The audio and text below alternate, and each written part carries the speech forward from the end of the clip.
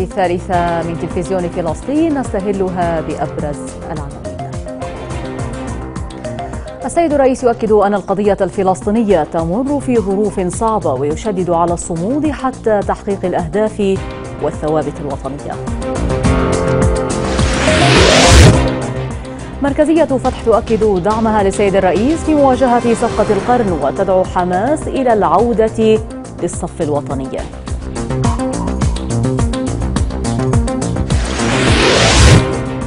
تواصل الفعاليات المساندة للسيد الرئيس قبيل خطابه المرتقب في الجمعية العامة.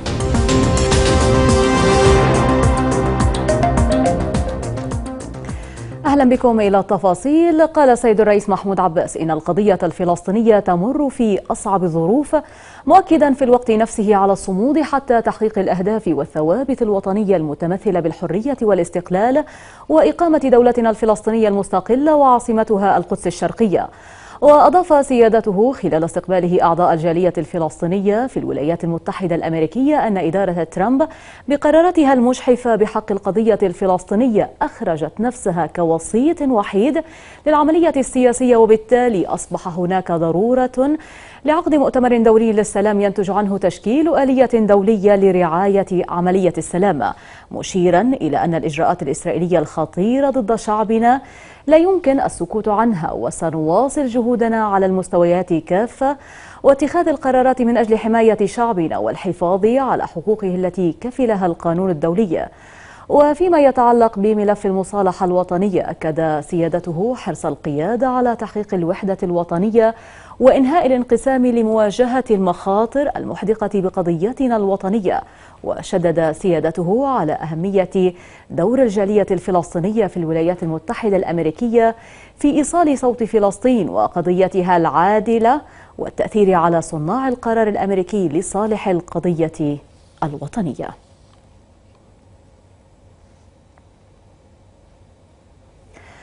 أكدت اللجنة المركزية لحركة فتح دعمها للسيد الرئيس محمود عباس ووقوفها إلى جانبه في المواجهة التي يخوضها بصلابة ضد صفقة القرن المشؤومة وأقطابها وفي مقدمتهم إدارة الرئيس ترامب وحكومة نتنياهو اليمينية وقالت مركزية فتح في بيان لها إن خطاب ترامب الذي ألقاه في الجمعية العامة للأمم المتحدة أظهر انحيازا كاملا لإسرائيل وإصرارا على تبني الأهداف الصهيونية التوسعية وإلحاق الأذى بالشعب الفلسطيني والتنكر التام للحقوق الوطنية المشروعة المستندة للقانون الدولي وقرارات الشرعية الدولية.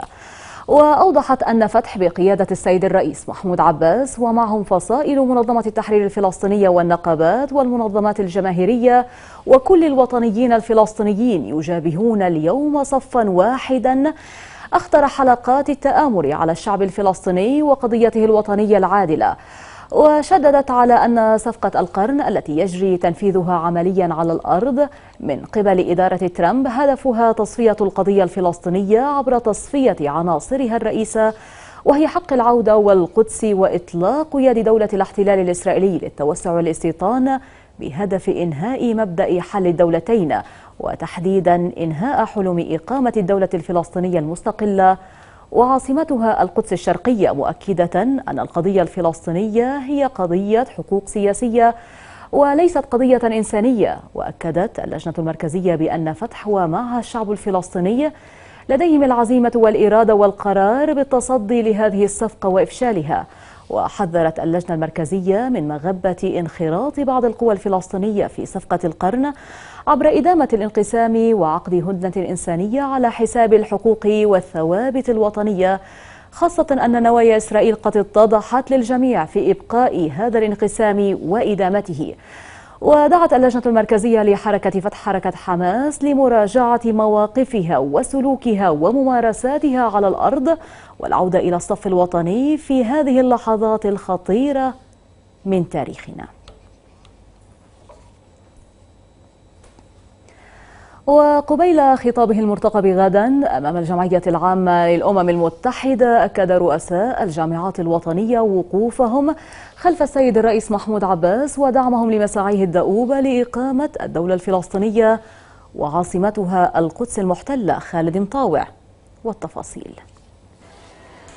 كغيرها من المؤسسات والنقابات والاتحادات تصطف جامعاتنا الوطنية عن بكرة أبيها برؤسائها وهيئاتها التدريسية والطلابية والإدارية خلف السيد الرئيس محمود عباس عشية خطابه التاريخي المنتظر أمام الجمعية العامة للأمم المتحدة الذي سيستعرض خلاله معاناة شعبنا جراء استمرار الاحتلال كما سيجدد رفضه المطلق لما تسمى بصفقة القرن. نحن كشعب فلسطيني نصطف حول هذا القائد وقيادته اصطفافا كاملا ونثق بهم ثقة كبرى ونقول لهم نحن من ورائكم آه، نقف وقفة رجل واحد ولا نلتفت لكل الإغراءات. في هذه المناسبة فإنني أعلن باسم جامعة القدس المفتوحة بكوادرها كافة عاملين وطلبة بفروعها العشرين في قطاع غزة وفي الضفة الغربية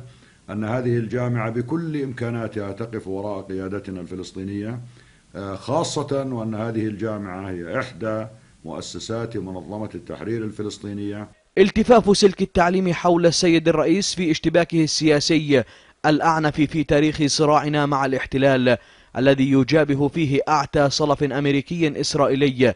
هو بمثابة استفتاء شعبي لتجديد البيعة لسيادته رغم كيد الكائدين وأبواق المحرضين. أساتذة ورؤساء وطلاب جامعات فلسطينية آه، جميعنا ملتف حول مضمون خطاب الرئيس والذي سيؤكد على آه، إقامة دولة فلسطينية كاملة السيادة تغيير وضع دولة فلسطين من دولة مراقب إلى دولة كاملة العضوية. آه، حيعلن الرئيس من على منبر الأمم المتحدة برفض صفقة القرن. انحياز الصروح الأكاديمية التي تحتضن شريحة واسعة من الطلبة والأساتذة إلى جانب السيد الرئيس محمود عباس ودعمها لخطابه التاريخي المفصلي أمام أعلى منبر أممي يمكن وصفه بالسيمفونية التي تقاطعت أنغام الوحدة والتلاحم فيها بين المواقف الشعبية والرسمية لعزف تراتيل الحرية وتقرير المصير لشعبنا وقضيتنا. حال الجامعات الفلسطينية هي كحال الوطن بشكل عام والأمة العربية التي تقف خلف سيادة الرئيس. هذا الرئيس الذي يخوض المعركة المعركة الصعبة بوجه أمريكا استطاع أن يقول للولايات المتحدة الأمريكية لا وبأكثر من مناسبة وأكثر من مرة. هذا الرئيس يستحق أن يقف الشعب الفلسطيني خلفه. فالجامعات الفلسطينية الشباب الفلسطيني آه، هم يقفون خلف سيادة الرئيس. وقوف رؤساء وأساتذة وطلبة الجامعات بجانب السيد الرئيس في تحركاته السياسية بالمحافل الدولية الرامية لتدويل قضيتنا وإعادتها إلى خارطة الاهتمام السياسي الدولي. أسقط كل مراهنات العابثين وأثبت أن شعبنا لن يخذل ويترك أبو الدولة وحامي المشروع الوطني وحده في معركته مهما بلغت التحديات. سر ونحن خلفك يا سيادة الرئيس. هذا هو حال لسان أبناء شعبنا الذين اصطفوا على قلب رجل واحد لدعم خطابه التاريخي المنتظر في الأمم المتحدة والشد من أزره في معركة الصمود بوجه العدوان والتمسك بالثوابت الوطنية. خالد مطاوع تلفزيون فلسطين. إلى ذلك خرج طلبة مدارس وكالة غوث وتشغيل اللاجئين الأونروا في مخيمات محافظة رام الله والبيرة بمسيرات أكدوا خلالها دعمهم للسيد الرئيس محمود عباس. حنين الحلو والتفاصيل. دعما وإسنادا للسيد الرئيس محمود عباس قبيل إلقائه خطابا تاريخيا وهاما في الجمعية العامة للأمم المتحدة في دورتها الثالثة والسبعين. خرجت مدارس وكالة غوث وتشغيل اللاجئين الأونروا في كافة مخيمات محافظة رام الله والبيرة لتؤكد وقوفها إلى جانب سيادته في حربه للدفاع عن حقوق شعبنا المشروعة. يحملون شعار أننا معك يا سيادة الرئيس في توجهك أمام الهيئة الجمعية العامة للأمم المتحدة وتحمل آلامنا وهمومنا وصبرنا في أرضنا وصمودنا في أرضنا ونطالب بتحقيق عودتنا وفق القرار 194 وضد الهجمة والإملاءات الأمريكية الإسرائيلية. ونحن معك ونحن نعلم جيدا أن الضغوط كبيرة على قضيتنا استهداف قضية مشروعنا الوطني الفلسطيني. سنقف معك يا سيادة الرئيس. المئات من طلبة المدارس خرجوا للتعبير عن رفضهم القاطع لما تقوم به الإدارة الأمريكية من إجراءات للضغط على شعبنا وقيادته لقبول ما تسمى بصفقة القرن الأمريكية وفي مقدمتها قطع التمويل التام عن وكالة غوث وتشغيل اللاجئين الأونروا. الأمر الذي يمس بحياة نحو خمسة ملايين لاجئ في الوطن والشتات يستفيدون من الخدمات التي تقدمها الوكالة الأممية لهم في كافة جوانب الحياة. نحن متمسكون بحق العودة ومتمسكون بوكالة الغوث أن تبقي على خدماتها لأنها جاءت بقرار أممي ولن تزيل خدماتها حتى العودة إلى ديارنا. إحنا جينا هين لأنه ترامب قطع المساعدات عن الوكالة. إحنا لا بدنا نرجع أراضينا غصب عنه غصب عن اليهود. يذكر أن سلسلة من الفعاليات الشعبية والرسمية تعم مختلف محافظات الوطن منذ أيام. لدعم ومؤازرة السيد الرئيس محمود عباس في معركته للدفاع عن قضيتنا العادلة في وجه كافة المخططات الرامية لتصفيتها. إذا هي وقفات عمت كافة المخيمات في الوطن والشتات دعما وتأييدا للسيد الرئيس محمود عباس قبيل إلقائه خطابا هاما وتاريخيا في الأمم المتحدة يوم غد. من مخيم الجلزون شمال مدينة رام الله حنين الحلو تلفزيون فلسطين. وفي قلقيلية خرج المئات من أبناء شعبنا في مسيرة دعم وتأييد للسيد الرئيس في خطابه المرتقب أمام الأمم المتحدة ورفضا للقرارات الأمريكية الهادفة إلى محو قضية اللاجئين. المزيد في تقرير أحمد شاور. قبيل خطاب السيد الرئيس محمود عباس التاريخي في الجمعية العامة للأمم المتحدة. نظم المواطنون وطلبة مدارس وكالة الغوث في محافظة قلقيلية مسيرة انطلقت من ميدان الشهيد أبو علي إياد دعما لسيادته ورفضا للقرارات الأمريكية الرامية لتصفية القضية الفلسطينية. جماهير قلقيلية تقف وقفة عز وفخر أمام العالم لتثبت للعالم. رسالتان الرسالة الأولى أن لا ترامب ولا غير ترامب يستطيع القفز على حقوق الشعب الفلسطيني.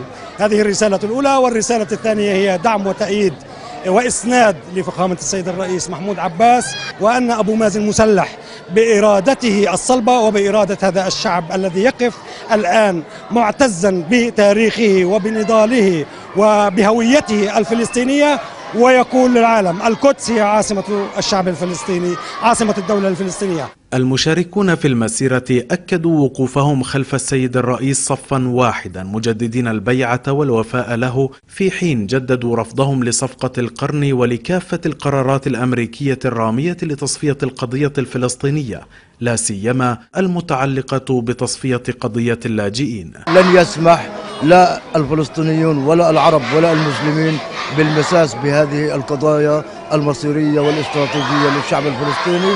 وأدعو العرب للوقوف إلى جانب قضية اللاجئين ودعم وكالة الغوث وسد العجز الذي حصل من سياسة ترامب العنصري الصهيوني. وأدعو الشعب الفلسطيني إلى التمسك بثوابته وقضاياه المصيرية. الوكالة تقوم بدور كبير جدا لحوالي خمسة ونصف مليون لاجئ فلسطيني. سواء في على مستوى الداخل أو على مستوى الخارج. فطبعا تريد أن تلغي هذه الهوية أولا وتجعل من ما هجروا في عام 48 الذين لم يبقى منهم أحد هم فقط لهم حق العودة في ذلك. وطبعا هذا الكلام هو مرفوض. أما الأمر الآخر ما تقدمه من مساعدات الوكالة تقوم بتقديم مساعدات على مستوى المستوى الصحي على المستوى التعليمي على المستوى أيضا المعيشي اليومي. مؤامرات تحاك وصفقات مشبوهة يتم الترتيب لها بهدف النيل من حقوق أبناء شعبنا الذين خرجوا اليوم وسابقا وسيخرجون لاحقا ليقفوا سدا منيعا أمام تحقيقها. لا يمكن أن تمر صفقة أمريكية وهذه الجموع ومثلها في محافظات الوطن تخرج لرفضها فضلا عن موقف رسمي يحمله السيد الرئيس أمام الأمم المتحدة في خطابه المرتقب. من مدينة قلقيلية أحمد شاور تلفزيون فلسطين. ودعما للسيد الرئيس محمود عباس في معركته لإسقاط صفقة القرن جددت النقابات دعمها لسيادته وللقيادة في معركتها الدبلوماسية نحو بناء الدولة والخلاص من الاحتلال. أسيد صبيح والتفاصيل. عشية خطاب السيد الرئيس محمود عباس في الجمعية العامة للأمم المتحدة في دورتها الثالثة والسبعين. جددت النقابات دعمها لسيادته ووقوفها خلفه في المسار السياسي. نقف خلف قيادة سيادة الرئيس ونساند سيادة الرئيس في هذه المعركة معركة الثوابت الوطنية التي بذل كل جهد وقال ألاه لكل المجتمع الدولي الذي حاول أن يضغط وحاول أن يمرر هذه الصفقة الخبيثة من أجل تصفية القضية الفلسطينية. المشهد الوحدوي للنقابات يأتي في وقت قضيتنا في أمس الحاجة إلى تكاتف كافة الجهود من جميع فئات وأطياف شعبنا لمواجهة الصلف الأمريكي الداعم والمنحاز للاحتلال. بالتأكيد السيد الرئيس سيعبر عن موقف الشعب الفلسطيني والقيادة الفلسطينية بخصوص التأكيد على الثوابت الوطنية. لحظة تاريخية فاصلة. تتمثل بالمشروع الأمريكي اللي بحاول تصفية القضية الفلسطينية. أولا بداية من صفقة القرن.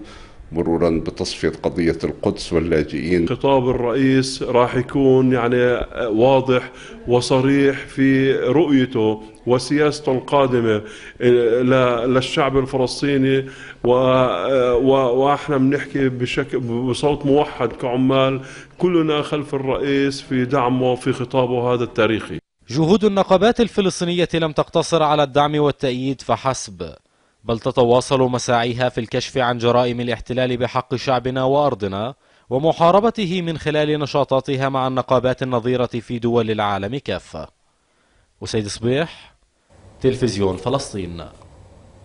في كلماتهم أمام الجمعية العامة للأمم المتحدة التي انطلقت أعمالها أمس أكد قادة وزعماء دول ضرورة إيجاد حل عادل وشامل للقضية الفلسطينية وفق قرارات الشرعية الدولية. مؤكدين أن حل الدولتين هو الحل الوحيد الذي يلبي طموحات الجانبين وينهي الصراع الفلسطيني الإسرائيلي. المزيد في تقرير هديل شوامره رغم محاولات الإدارة الأمريكية تغييب القضية الفلسطينية عن أجندة العمل مستأنسة بالمواقف الإسرائيلية إلا أن فلسطين حضرت في النقاشات الدائرة في الأمم المتحدة وكانت قاسما مشتركا بين كلمات عدد من الرؤساء في الدورة الثالثة والسبعين للجمعية العامة في الأمم المتحدة. أبرز هذه المواقف ما تطرق إليه الرئيس الفرنسي إيمانويل ماكرون الذي دعا إلى ضرورة حسم الصراع بوضع حد فوري لسياسة الأمر الواقع من خلال مبدأ حل الدولتين. لا بديل موثوق عن حل الدولتين. دولتان تعيشان جنبا إلى جنب بأمن وسلام ولهما عاصمة هي القدس. أناشد إسرائيل أن تدع حدا سريعا لسياسة الأمر الواقع. التي تقوض حتى إمكانية التوصل إلى السلام. الرئيس التركي رجب طيب أردوغان أعلن هو الآخر من على منصة ذلك المحفل الدولي أنه لن يترك القدس المحتلة وأن بلاده ستظل تدافع عن الوضع القانوني والتاريخي فيها حتى لو تخلى عنها العالم أجمع.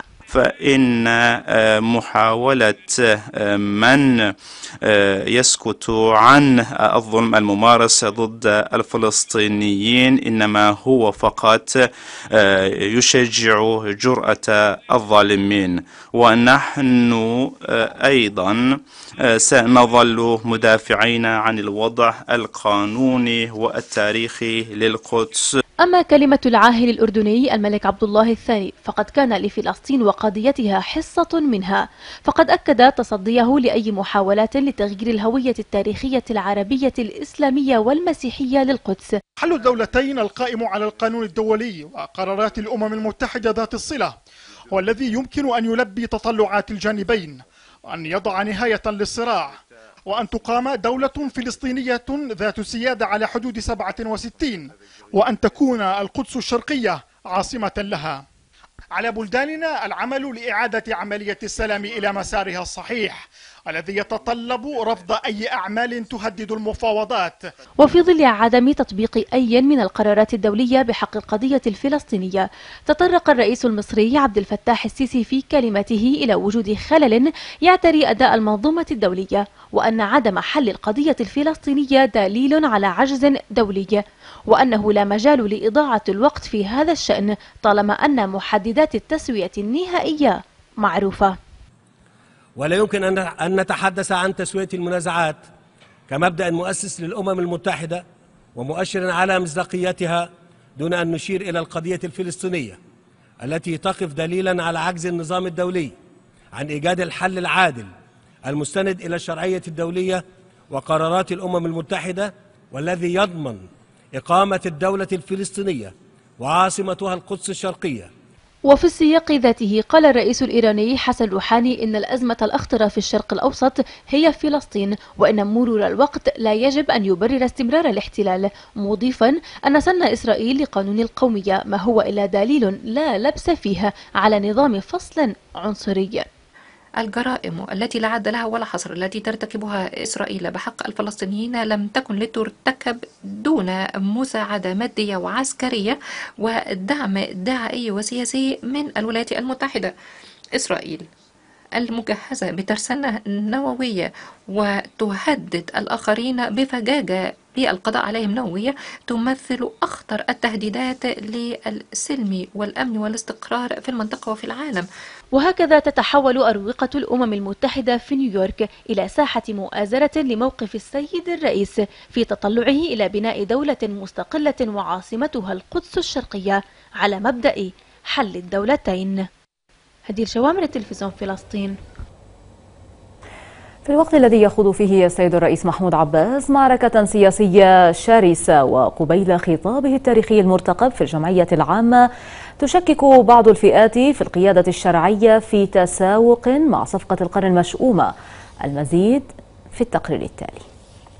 ونحن في هذه المرحلة الفارقة في تاريخ قضيتنا الوطنية لم تعد هناك مبررات لمن أثروا طيلة الفترات الماضية التزام جانب الحياد المثير للتساؤل بل إن الراهن المعاش يقتضي مواقف العزة والكرامة الوطنية ولا مجال للرمادية في هذه المرحلة ذلك أن اللاموقف يصب في صالح الاحتلال وسائر القوى المتحالفة معه وبالتالي لا بد من التقاط اللحظة والاصطفاف إلى جانب الشرعية الوطنية في نضالها ضد قوى الشر والطغيان لتجسيد حلول حلم شعبنا بنيل حريته واستقلاله الناجز وكامل حقوقه الوطنية. اليوم هو يوم الوفاء لفلسطين القيمة والمعنى التاريخي والديني والحضاري. ومن الأخلاق الآدمية صرف الانتباه عن أي خلافات مهما على شأنها فهي صغائر أمام الموقف الأجل الذي سيدون التاريخ تفاصيله بما لنا وما علينا. وعليه فهي فرصة الانتصار لذاتنا امتثالا لقناعاتنا وتلبية لحاجاتنا الملحة ومصداقا لرواية السماء ووعده الحق ولأجل مستقبل أبنائنا وأحفادنا ولأجل الإنسانية جمعاء. ذلك أن فلسطين فضاء كوني أراد له الله أن يكون ما هو عليه. وطن القداسة والطهر وطن الشهداء والأنبياء. وطن كنعان ونسله الطيب. أول وطن أطل عليه إنسان. ما يعني أن هذه الأرض كان لها أن تشهد ميلاد أول النبت الآدمي. وبهذا تكون بلادنا فلسطين وطن المحبة والتسامح والعطاء. وهي وطن بركات السماء التي لن تخذلنا قط. هي إرثنا الذي سنذود عنه حتى الرمق ما بعد الأخير. هي ضميرنا وحلمنا ووعينا الناضج الذي تشكل ما قبل اكتشاف العالم الجديد وإفرازات الفوضى الخلاقة وكافة أدبيات العالم المتحضر. وعليه وجب التذكير يا من نذرتم جهودكم في غير طاعة الله وجنحتم نحو الخطيئة قولا وفعلا سعيا خلف وعود زائفة وراهنتم إمكاناتكم وعقولكم لإشباع غرائزكم وأطماعكم وكلها إلى زوال. فأما الزبد فيذهب جفاء وأما ما ينفع الناس فيمكث في الأرض. هذه هي الحكمة العميقة التي آمن بها ولطالما سعى لتحقيقها بكل السبل والممكنات السيد الرئيس محمود عباس الذي يخوض معركة المصير بلا وجل ولا جزع فيما البعض لم يكتفي بالتنصل من عناء الفعل الواجب دينيا ووطنيا بل إن هذا البعض يحرض على شخص الرئيس ويدعو إلى ضرورة إيقافه عما يواصل من جهاد في سبيل قضية شعبه ووطنه وأمته. ليس لسبب قصور في الأداء وإنما لأنه أربك حسابات ممولي مشاريعهم المشبوهة وأدخلهم في حالة من الالتباس وألب عليهم الرأي العام الدولي الذي بدأ يتعاطى إيجابا مع حجتنا ما أربك حساباتهم وأفقدهم رشدهم الصبياني وجعل من ترامب ونتنياهو مثار شك وريبة أمام العالم الذي بدأ يدرك قطعا بصوابية سلوك الرئيس ومجمل سياساته المعتدلة. فيما عكس ذلك بدت النظرة لسياسات الولايات المتحدة وإسرائيل. نعم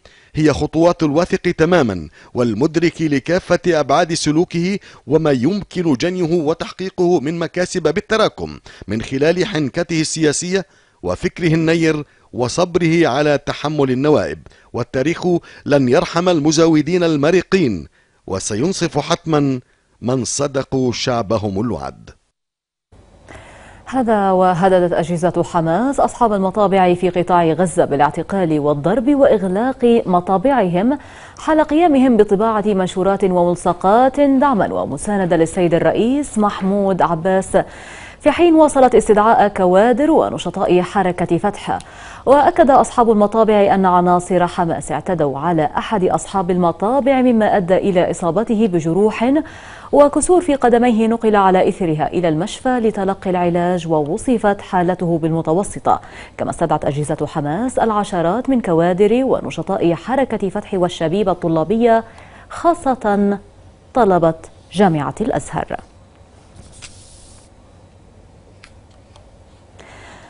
وقبيل الختام هذا تذكير بأبرز العناوين. السيد الرئيس يؤكد أن القضية الفلسطينية تمر في ظروف صعبة ويشدد على الصمود حتى تحقيق الأهداف والثوابت الوطنية. مركزية فتح تؤكد دعمها للسيد الرئيس في مواجهة صفقة القرن وتدعو حماس إلى العودة للصف الوطني.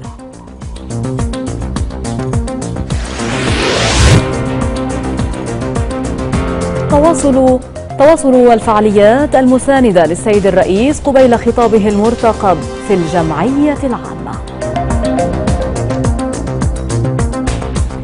في نهاية النشرة أشكر لكم طيب المتابعة دمتم بخير وإلى اللقاء.